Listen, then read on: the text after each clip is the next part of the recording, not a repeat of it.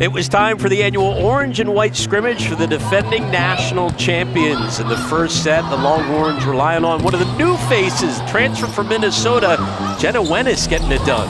Outside Jenna Wenaas really showing what she can bring to Texas.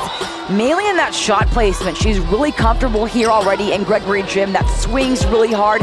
Did a good job of making her opponent which her teammates get on the ground and dig around. They helped the white team take the first set. Jerritt Elliott called her one of the most improved players of the offseason.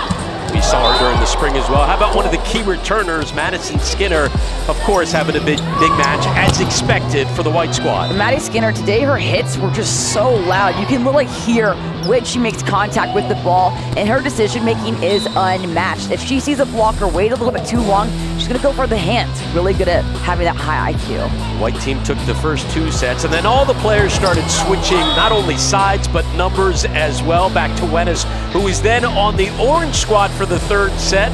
And coincidentally, the Orange won their first set of the day with Wenaas on their side. And it's good to see these players move around, work with different setters, having that connection, seeing what you can do with each other. That's what Elliott's looking for today, especially in the middles and libero position. And they only played four sets in this one. The Orange winning the last two with Wenaas on that squad. She was one of the stars of the match, along with the freshman Swindle.